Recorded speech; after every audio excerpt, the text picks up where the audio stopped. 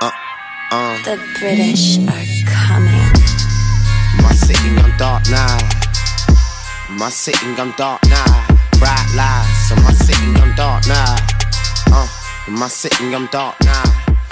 Yo, what's going on, people? It's what you need to edit here. Bringing you guys a text overlay tutorial. Um, if this gets 50 likes, then I'll upload another tutorial, another text tutorial. It'll be real and suave for you guys. So make sure you leave a like, make sure you leave a comment. If this video helped you. Without further ado, here we go.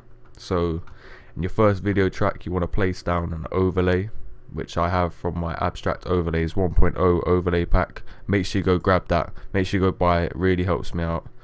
Um, it's going towards a new computer.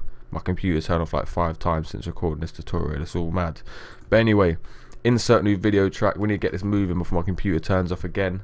We're gonna insert our text.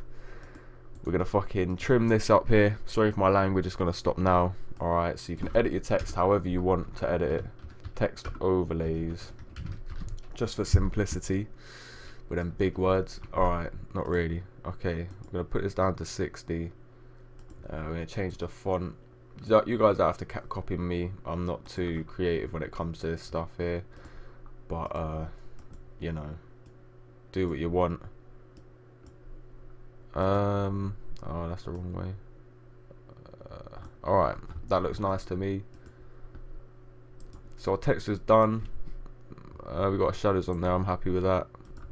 Um, Alright, so we're going to add our next overlay. Now bear in mind this overlay has got a fair bit of darkness to it, so it's not the best overlay for text at all, but just for the the sake of the colours blending and stuff, I, I am using it.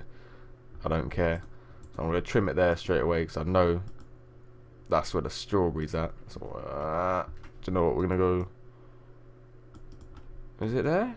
No, no, no, we'll stick with the strawberries. My bad, guys, stick with the strawberry. Alright, alright. I'm going to drag it out a piece because I already know this is too too fast. But yeah, so how's that? See, I like that. That's kind of nice. We're gonna take away some of this though. That, that uh, there we go. All right, so we fit that in nicely. We've got it to the right speed. Trim it down there. Trim a little bit more. Trim end. How does that look? Yeah, that looks alright to me, I guess. It's a little bit slow, but I can't be asked to mess around with it now. So yeah, here we go. All three things are ready. Make sure you've disabled resample on all three of them because you're fucking up the base if you haven't. Alright, property, yeah, we're all good. Alright, so this the next next thing you want to do now is you want to go down to your second track and you want to make compositing child.